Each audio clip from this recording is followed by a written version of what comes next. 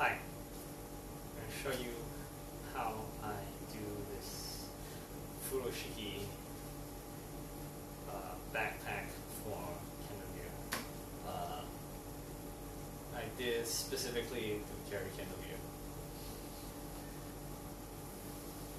It's not a design that I, uh, well, I researched, I went to on the net to find out a lot about how to not a lot, but somewhat to find out how to type furoshiki, and this is like uh, another way. So, uh, first thing, get all your gear in one place. Uh, I know this is how we usually tie it at SKC. Uh, well, the, the, the bunch of us beginners. And uh, if you decide to go and in, maybe you want to put your uniform too.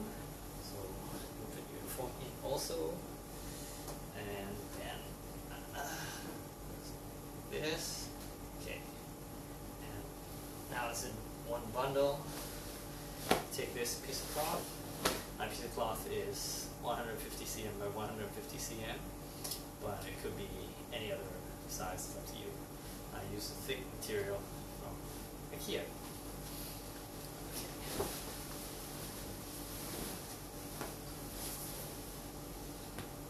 So, big square cloth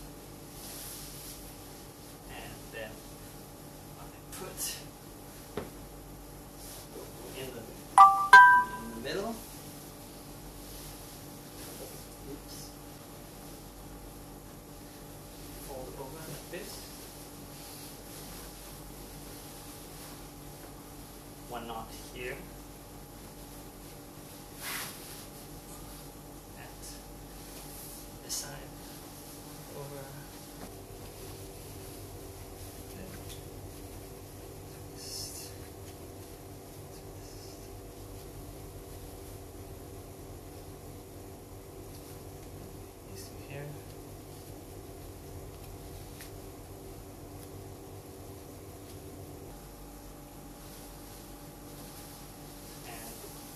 Same thing on this side.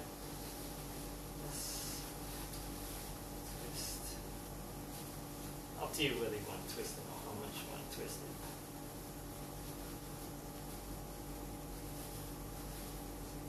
Another reef knot.